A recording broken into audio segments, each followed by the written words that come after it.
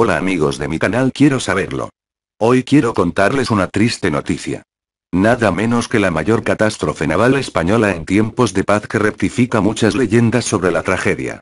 Se trata del transatlántico Valvanera. Después de casi un siglo del trágico naufragio del transatlántico Valvanera, el mayor desastre naval español en tiempos de paz, su desaparición en aguas caribeñas, con 488 personas a bordo, continúa encerrando incógnitas. Aquel martes 9 de septiembre de comienzos de siglo, la vida de cientos de canarios se vio truncada por la desgracia. Todo comenzó un mes antes. El 10 de agosto, y después de varios aplazamientos, el vapor Valvanera zarpó de Barcelona, Dos días antes, la Inspección de Inmigración había hecho un exhaustivo reconocimiento de los medios de salvamento del buque. Los anuncios publicitarios resaltan el servicio inmejorable y los precios altamente económicos que ofrecía la naviera Pinillos Izquierdo y Cía. Propietaria del crucero. Un día después de salir de Barcelona, hizo escala en Valencia, y el día 13 entró en Málaga, donde embarcó un cargamento de aceitunas, frutos secos y vino. Al atardecer de ese mismo día, marchó rumbo a Cádiz y el día 17 arribó a Gran Canaria. Embarcaron 251 pasajeros, otras fuentes cifran que fueron 259. Al menos 10 procedían de Las Palmas de Gran Canaria. 28 de Telde. 13 de Santa Brígida. 23 de la Vega de San Mateo. 18 de Arucas. 27 de Terror. 12 de Valsequillo. 8 de Valle Seco y 3 de Tejera. El 18 de agosto otros 212 nuevos pasajeros subieron a bordo en Santa Cruz de Tenerife. En aguas de la bahía tinerfeña también repostó carbón, agua y víveres frescos. Su llegada a la isla fue anunciada a bombo y platillo. Moderno y rápido. El periódico tinerfeño La Prensa publicó el 24 de junio, más de 15 días antes de su escala, el siguiente anuncio. El moderno y rápido vapor de dos hélices y 8.000 toneladas Valvanera, pasará por este puerto con destino a los de Santiago de Cuba y La Habana en la primera quincena de julio próximo, admitiendo pasajeros y carga, debiendo dirigirse las solicitudes de hueco con la oportunidad de vida, a la gente de la compañía en esta plaza.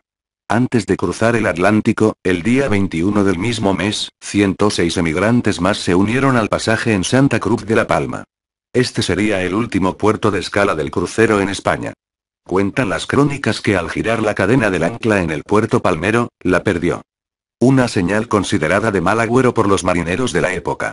La mayoría de los pasajeros eran personas humildes que emigraban en busca de un futuro mejor que no les brindaba Canarias, abrumadas por las dificultades de una época de miseria y escasez. En total, viajaban 1.236 personas, entre pasaje y tripulación. Se considera que podrían viajar entre 1.700 y 2.000 personas, entre pasajeros, tripulantes, polizones y los famosos quintos, es decir, soldados que viajaban identificados con un número. A bordo incluso iba una mujer francesa, pero el 90% era de origen canario procedentes de todas las islas. Por delante quedaban múltiples escalas y vicisitudes por el mal tiempo.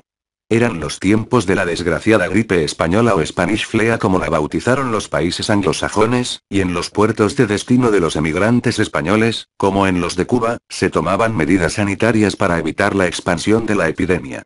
Tras atracar primero en San Juan de Puerto Rico, el barco se dirigió a Santiago de Cuba, a donde recalaría el 5 de septiembre. Allí se quedaron en tierra 742 afortunados. Entre estos pasajeros, 27 vecinos de terror. Muchos, relata Julio González Padrón, se despistaron o se fueron a tomar ron y no llegaron a coger el barco. Los emigrantes iban a Cuba a buscar trabajo y eso pudo explicar el desembarco masivo en Santiago de Cuba sin esperar a llegar a su destino final, La Habana. Las 488 personas restantes que sí embarcaron rumbo al puerto de La Habana jamás volverían a tierra. El 9 de septiembre, el capitán del Balvanera solicitaba la entrada a La Habana, pero la respuesta que recibió fue que estaba cerrado por un ciclón. El transatlántico se fue a pique en medio del viento ganado a una velocidad que aún hoy sigue siendo un enigma. La maniobra del capitán fue un poco extraña, incomprensible, la menos adecuada. Tomó rumbo norte, giró hacia el vórtice del ciclón, destaca el marino mercante. De hecho, se cerraron todos los portillos de temporal, ventanas, a excepción de uno. Un vez que en aguas de La Habana le dijeron que corriera el temporal fuera, expresión que significaba que no podía atracar, el barco se quedó sin máquinas y sin gobierno. Tras maniobrar, el buque embarrancó en las arenas movedizas de la costa cubana, en una zona muy próxima a Florida. Zozobró y se escoró sobre el costado de estribor y fue cubierto por las olas embravecidas. El hundimiento fue cuestión de minutos. Ni se pudieron sacar los botes salvavidas ni pedir socorro. Prueba de ello es que ni siquiera dio tiempo a sacar los botes salvavidas ni pidió socorro. Perecieron todos. Al menos 408 eran canarios. Al día siguiente, el 10 de septiembre, no se halló rastro del crucero ni de los viajeros. No fue hasta el día 23 cuando se supo en Canarias que estaba hundido.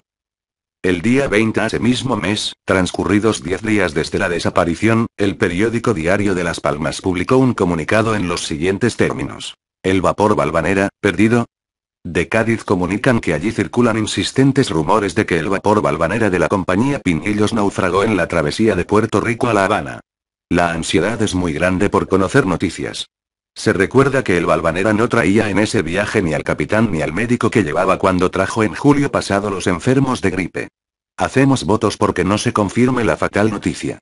El 22 de septiembre, un telegrama recibido en Tenerife procedente de La Habana desmentía la desaparición del barco.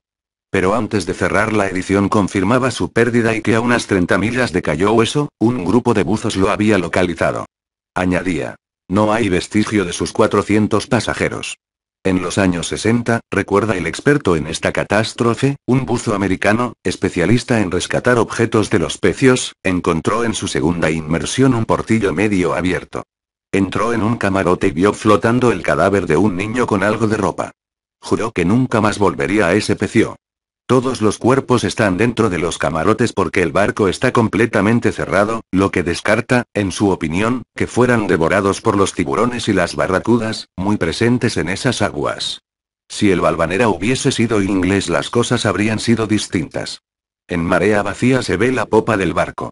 Inglaterra no habría permitido que a solo 12 de metros de profundidad, que tiras una piedra y llega, los cuerpos se pudrieran allí. Eso fue una vergüenza nacional. No sacarlo en aquel tiempo habla de la poca importancia que tenía España en el mundo.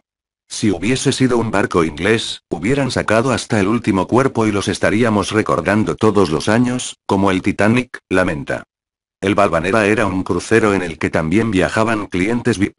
En la zona de emigrantes se servía el llamado menú de emigrante que consistía en una comida al día. Por eso los canarios llevaban gofio, higos pasados y pescado seco. Comían en la cubierta en el comedor de emigrantes, relata. En estancias separadas estaban los pasajeros más adinerados que disfrutaban de suculentos menús en sus propios comedores y cubiertas engalanadas. Los canarios llevaban gofio, higos pasados y pescado seco. En la actualidad, su rescate es complejo y costoso, y hasta la fecha los problemas económicos han impedido reflotarlo. En medio del silencio del océano, hundidos en arenas movedizas atestadas de tiburones y barracudas, descansan eternamente cientos de canarios desde hace casi un siglo sin un monumento ni efeméride oficial en el archipiélago que honre su memoria. En memoria para todas estas personas que perecieron y en mi lugar compatriotas canarios, dejo unos segundos de silencio en este vídeo, para recordarlos de alguna manera.